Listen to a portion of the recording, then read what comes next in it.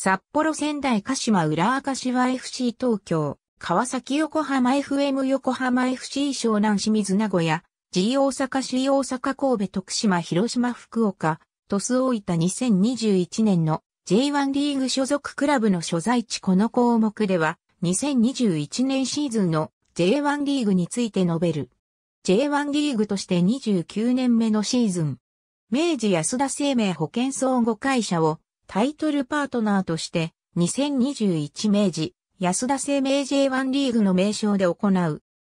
前年の2020年シーズンでは新型コロナウイルス感染症による影響に伴うレギュレーションの変更により J1 から J2 への降格は行わず、一方で J2 から J1 への昇格が行われたことから、クラブ数が2増の20クラブとなり、次年度に18クラブに戻すために4クラブが降格するレギュレーションが採用されることになった。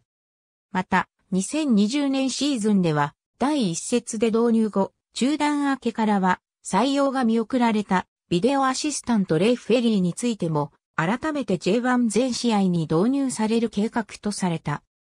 FIFA クラブワールドカップ2021が日本で開催することが予定されていたため、優勝したクラブには FIFA クラブワールドカップ2021への出場権が与えられる予定だったが、2021年9月9日に日本サッカー協会が同大会の日本開催を返上している。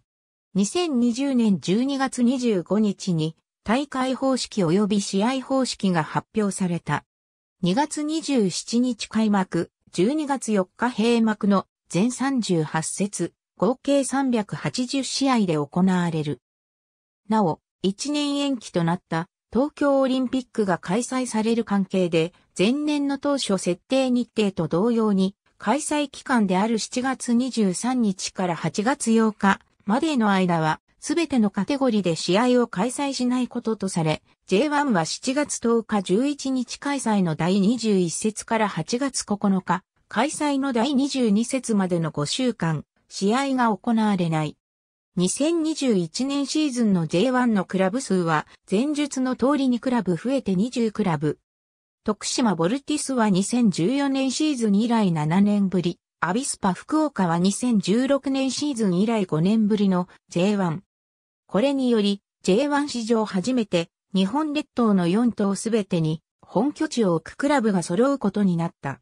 特記なき場合、監督代行はトップチームのヘッドコーチが務めている。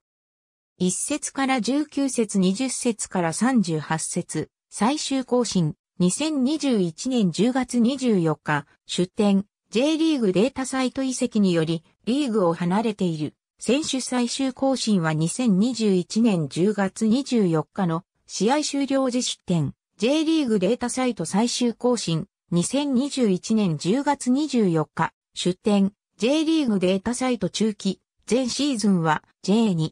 緊急事態宣言に伴う無観客試合ありありがとうございます。